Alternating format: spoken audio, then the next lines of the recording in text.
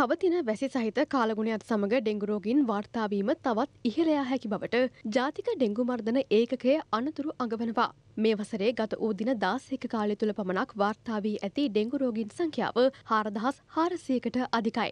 මේ වසරට අදාළව ඩෙංගුරෝගින් තිස් හතරදහස් හාරසියක් පමණ වාර්තාාවී ඇති පවයි ජාතික ඩෙංගුමර්ධන ඒකගේ අධ්‍යක්ෂ විශේෂඥ වෛද්‍ය නලින් ආරිරත්න ප්‍රකාශ කරේ. පවතින තත්වය හමුවේ ඩෙංගු වසංගතයක් විය හැකි බවටයි සෞඛ්‍යංශ අනතුරු අඟවන්නේ. බස්නාහිර පලාතේ සහ ත්‍රිකුණාමාලය පුත්තලම මඩකලපු යල දිස්ත්‍රික්කවලත් ඩෙංගුරෝගින් වැඩි වශයෙන් වාර්තාාවන බවද සෞඛ්‍යංශ පෙන්වා දෙනවා. ඩෙංගුරෝගේ වැළඳී මේ වන විට මියකොස් ඇති පුද්ගලින් සංඛ්‍යාව විසි දෙකක්.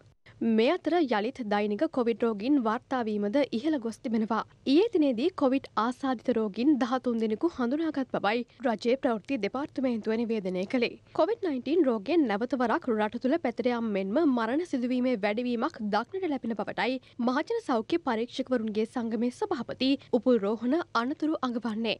අපිට පේනවා බිම්මට්ට මේ යම් වෛරස ආසාධන රෝගතත්ව වගේම කොවිඩ් දහනමයයි සැකසිතිය හැකි රෝගතත්වත් විශාල වශයෙන් පැතිරමින් තියෙනවා පාසල් තුළ සහ ආයතන තුළ වසංගත තත්වයෙන් පැතිරයමින් තියෙනවා. ඒ නිසා අපි මහජනතාව විදිහට වගකීමෙන් මේ මොහොතේ වැඩ කළ යුතුයි. විශේෂයෙන්ම කොවිඩ් දහනමේ පාලනයට අදාළව අපි කලින් හඳුන්වා දුන්නු සෞඛ්‍ය උපදෙස් විශේෂයෙන්ම දෑත් පිරිසුදුව තබා ගැනීම, ඒ වගේම ශ්වසන පද්ධතියේ ස්වස්ථතාවය පවත්වා ගැනීම වැනි කටයුතු ඉතාමත් වැදගත්. විශේෂයෙන් මහජනතාව වැඩි එක්රොක් වෙන ස්ථානවල ගැවසීමෙන් තොරවීම සහ ඒ වගේම නැවත වරක් මුඛාවරණය පැළඳීම අනිවාර්ය කරගන්න එක Tamanගේ සෞඛ්‍ය තත්ත්වය ආරක්ෂා කරගෙන ජීවිතය ආරක්ෂා කරගැනීමට ඉවහල් වෙනවා කියන එක අවධාරණය කරන්න ඕන. මේ පවතින තත්ත්වය COVID-19 ආසාදනයක්ද එවැනි වසංගත තත්ත්වයක් පැතිර ගිහිල්ලා යම් විදිහකින් යම් ව්‍යසනයක් සිදු කරයිද කියන එක පිළිබඳ අවබෝධ කර ගැනීම සඳහා බිම් මට්ටමේ රෝගීන් තහවුරු කරගැනීමේ ක්‍රමවේදයක් සිද්ධ වෙන්නේ නැහැ. විශේෂයෙන් රෝහල් ගත වන රෝගීන් සහ මිය යන රෝගීන්ගේ පමණයි මේ ආසාදන තත්ත්වය තහවුරු කරන්නේ. ඒ නිසා අපිට